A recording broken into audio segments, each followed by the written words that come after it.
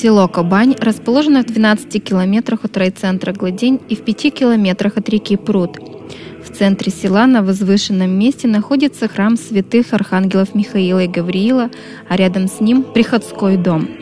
Храм был построен в далеком 1702 году собственными силами прихожан и на пожертвования верующих из соседних сел. Строительный лес был доставлен из Карпат. В 1924 году церковь перекрыли оцинкованной жестью. Знаменательно то, что в период гонений, когда скверняли святынь и запрещали исповедовать веру, двери этого храма оставались всегда открытыми. В наши дни, когда возникает необходимость в реставрации, это ложится на плечи прихожан, и благодаря их стараниям Дом Божий имеет благолепный вид – в настоящее время не оскудела вера православная. Наши прихожане построили в центре села Троицу, а на самой высокой скале воздвигли распятие. Из этих славных дел очевидно, что наш народ свято чтит унаследованные от предков традиции.